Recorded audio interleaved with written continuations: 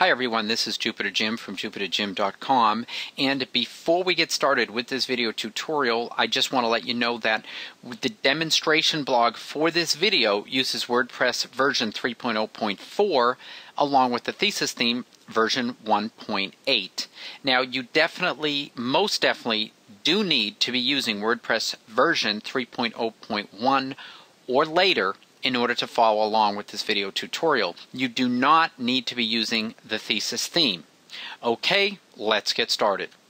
Hi, this is Jupiter Jim from jupiterjim.com, and this is the second of a two-part video teaching you how to use WordPress 3.0 menu feature to create a nav menu or nav bar across the top of your WordPress blog as you can see here. What I'm going to do in this video is show you how to create a tab that will link to a category in your blog and I'm going to create a couple of more tabs that will link to outside websites and blogs. So to get started, let me click on this tab in my browser. You can see I'm already logged into the dashboard of my blog. I'm going to scroll down and right here under appearance there is a menus link. I'm going to click on that. And here we are, you can see this is the starter menu right up there.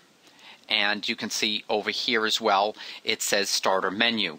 So first of all, let me add a couple of custom links. This is going to go to my jupiterjim.com website. I like to put that trailing slash there.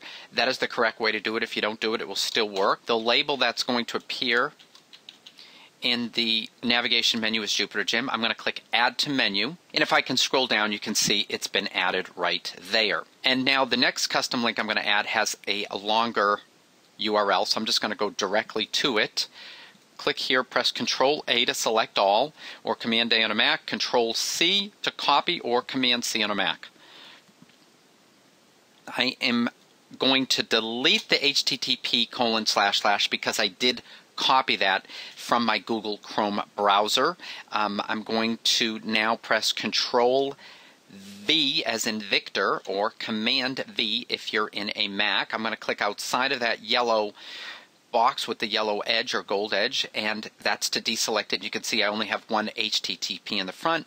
Let me just call this marketing team. Click add to menu. And the last thing I'm going to do to the menu, the nav menu at the top is I'm going to add a category. I'm going to click on, we're down here, you can see it says categories. You can click that down arrow. Click view all, and I want to have one link to my fishing category. You can add more categories. I'm just going to do one for this demonstration. Click add to menu, and there you go. First thing I'm going to do is just change this so it's a capital F and says fishing tips and then I'm going to just deselect it. Click right there, just click outside, and I can put that down arrow to save me some space. I'm going to move this above the Jupiter Jim, and I want Jupiter Jim to be last and marketing team to be second to last. I'm going to scroll up here, click on Save Menu. That is absolutely critical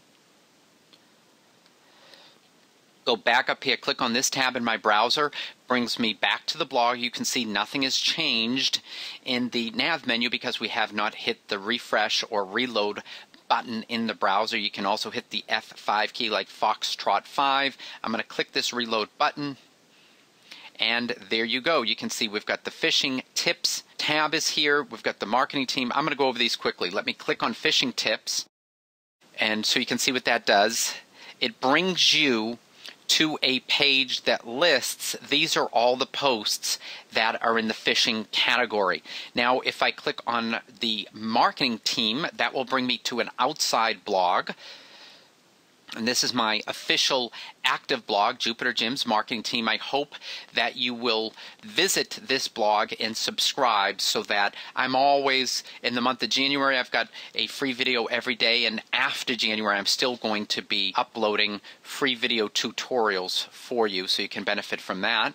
I'm going to hit the back arrow in my browser, back over to Jupiter Jim, and this will give, this brings you to my official website. This was built with HTML and cascading style sheets, no tables, using CSS or cascading style sheets for the layout. And you can see there's another link back to my blog. So I'm going to hit the backspace again a couple of times, hit the home button. One last little thing I want to show you. Back to the dashboard, scroll down, and we're going to go to Widgets, and I'm going to click on that down arrow, click on this down arrow to open up sidebar 2.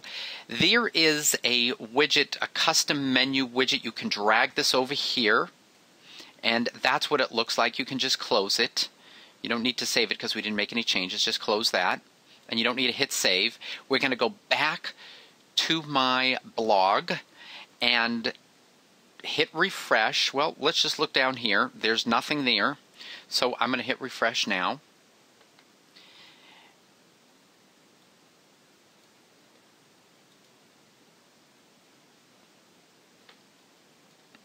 Let me, it didn't show up here, so let me go to in the same blog in another browser.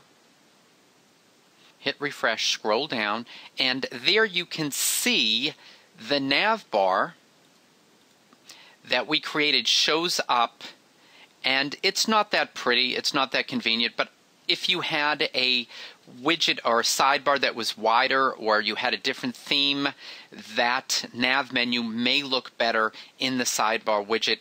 That's your call. So that's all there is to the second part of the video in adding categories and custom links and a sidebar widget for the custom menu using WordPress 3.0 menu feature. Thanks for watching and I hope you have a great day.